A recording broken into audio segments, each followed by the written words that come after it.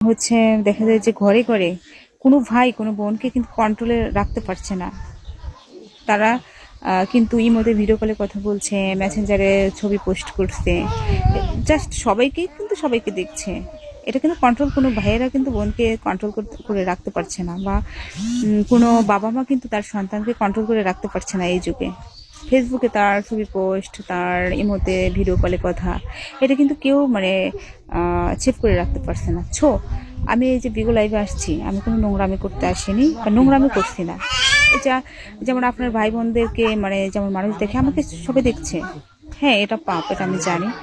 But মানে এগুলো কিন্তু এখন বেশি কেউ কেয়ার করে না। সবাই পাপি বান্ধা কেউ কিন্তু মানে ফেরেস্তা না, ঠিক আছে? আমি বলছি, আমার পাপ নেই, তা নয়। সবাই পাপি বান্ধা আমিও পাপি বান্ধা আপনারাও পাপি বান্ধা ঠিক আছে? তার মধ্যে মানে ভালো মন্দ আছে। পাপেরও একটা লিমিটেশন আছে। এ দেখেন, আমি এখানে লাইভ করছি, আরও ব্রডকাস্ট গিয়ে দেখেন, তাদের লাইভটা কেমন? দেখে এসে আমাকে বলবেন যে, আমি পাপ করছি। ঠিক আছে? তারপর আমাকে বলবেন।